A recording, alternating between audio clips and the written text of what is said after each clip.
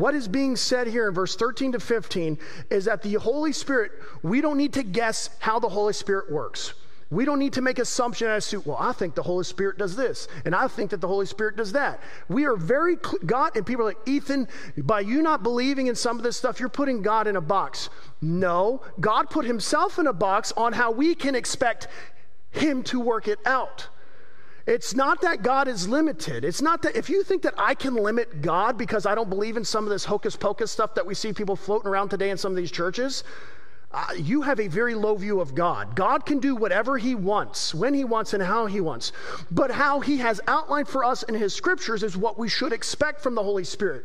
And if the Holy Spirit emanating from the life of an individual is anything other than what is being described in the scriptures, that's not the Holy Spirit.